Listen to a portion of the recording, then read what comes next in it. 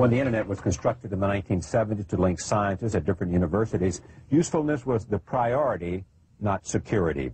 Tsutomu Shimomura came to national attention when he was asked by the FBI to help find a wanted computer criminal, Kevin Mitnick. The FBI had been searching for Mitnick for some two years, his crime allegedly including stealing millions of dollars worth of information from government, corporate, and university computer systems.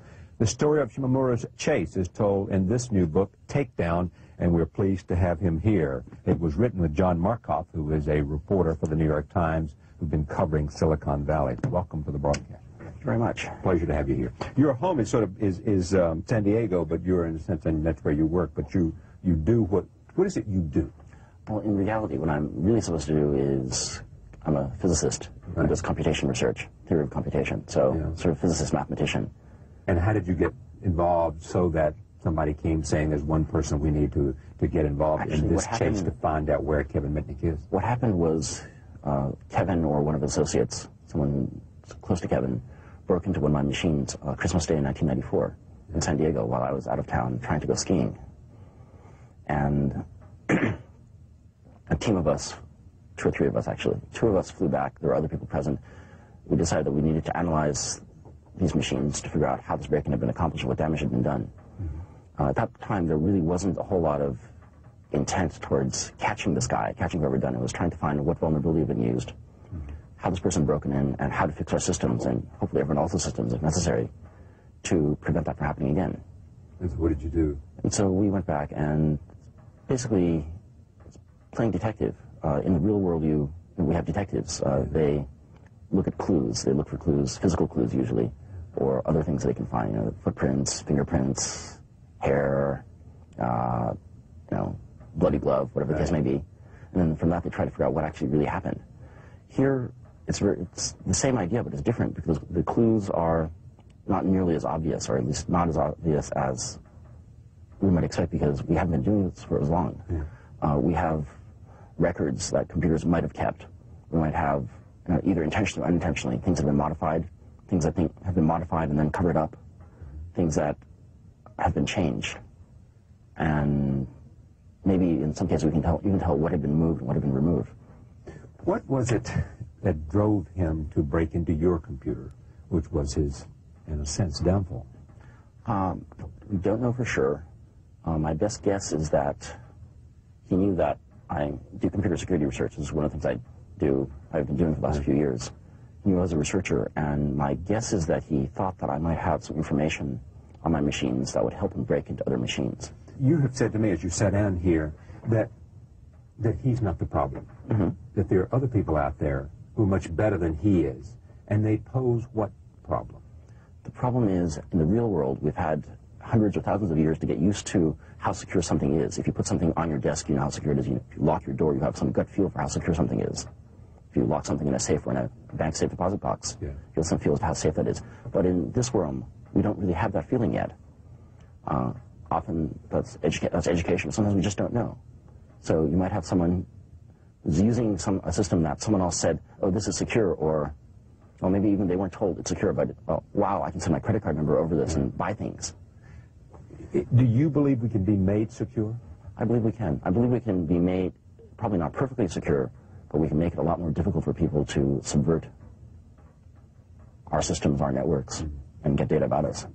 But as we, does it become a sort of a terrible cycle in which as soon as you develop a system or a system, a secure system to impose security is designed, programmed, along come people equally smart who devise a system to break it, and then you got to devise another system to, to cure. Go ahead, help me. What's the? In, in, a way, we have that's what we have things like laws for and codes of conduct. Right. Um, the idea is, you know, some people would say that in this electronic realm, if you can do something, you're entitled to do it. That's like my saying to you in this world, just because I can break into your house, I'm entitled to do that. Or saying, it's okay for me to break into your living room and take photos as long as I don't take anything. Uh, in the real world, we wouldn't put up with that. I don't see why we should put up with that. So we should make laws that it's, it's, illegal to do break, but aren't there laws that say that now? There are laws that say that now. Uh, you know, there have been laws that say that for a long time. That said that for a long time. The trick is to extend those laws, extend the ethics that we have now to cover these new situations, which I think are not really new. They're just sort of new manifestations. Yeah. Uh, how to And we need to convey to people that, yes, these ethics, yes, the, the sense of right and wrong exists in this realm as well. And I think that's a very important part. That's, that's part of it. I want to come back to some of these broader questions about computers, about the internet, but let me stay with the chase and come back to with a takedown, the pursuit and capture of Kevin Mitnick. How did you do that? How did you get him?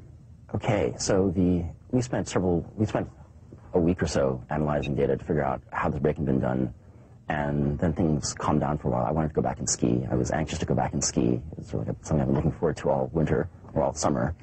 And in any case, a trail showed up later after John Markoff wrote some articles on the new attacks that were being used.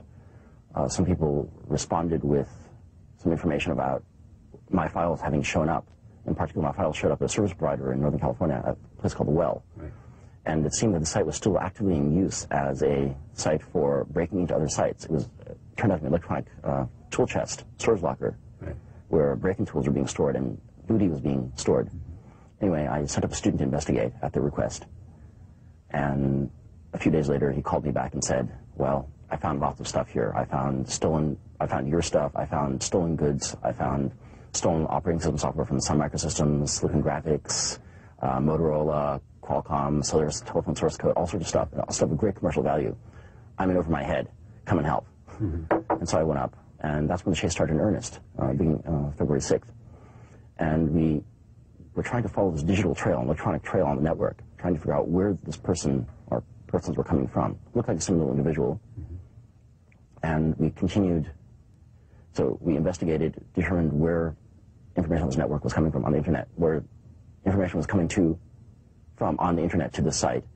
Uh, went to the next site in line, which was Netcom Online Communication Services, San Jose, and determined that there's a particular user who matched our profile times. Basically, we're comparing logs against detective work, trying to match different clues together to figure out what happened. Found that this was a user who was dialing in pretty reliably to a particular dial-up port that Netcom ran in Raleigh, North Carolina Right. we got a track and trace order for their dial-up numbers, so we could learn who was calling, and got that. Discovered that the, tel- the records actually didn't do us a whole lot of good because the phone switch had been tampered. It was garbage. Right. We managed to get around that.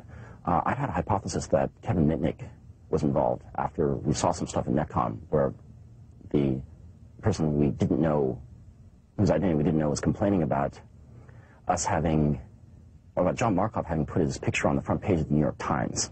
I called John and asked him, so whose picture have you put on the front page of the New York Times in the last couple of years? And he came back with one answer, Kevin Mitnick. We had a name at that point. Yeah. Uh, I'd had a suspicion that he might be using a cellular phone to dial in, and we were, by checking with the cellular companies and getting the right court ordered paperwork, right subpoenas and warrants, we were able to get records from the cellular company that would let us match things all the way back to the cellular system. And we were able to determine by looking at cellular records that Kevin was within about a one kilometer radius of a particular cellular station in Raleigh, North Carolina. So six days, five days into the investigation, I guess. Six days. Yeah, by the time of six days. Uh, flew, I flew out to Raleigh, and cellular telephone technician and I drove around Raleigh trying to hunt down the signal using some radio direction finding equipment. It's a lot like trying to find a light bulb in the dark. Yeah. Uh, you go towards where it's brighter. Right, right. And that evening, after about half an hour, maybe an hour, about half an hour, he came online about half an hour after we were on site and ready. Uh, half an hour later, we had driven around his house. And then you And- call the FBI. Yeah, we called the Right. FBI and took them a couple of days to get around to getting him. And then when he was arraigned, he turned to you and said what? He said, I respect your skills. What was interesting was I think he thought this entire thing was a game.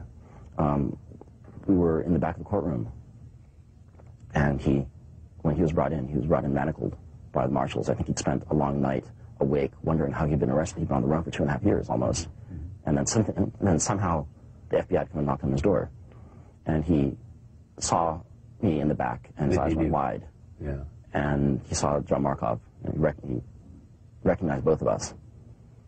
And I think he suddenly realized what had happened. And also at that moment, I think it dawned on him that this wasn't a game, that there were very real consequences. He, he was being arraigned for a crime. Yeah. And he had been arrested again.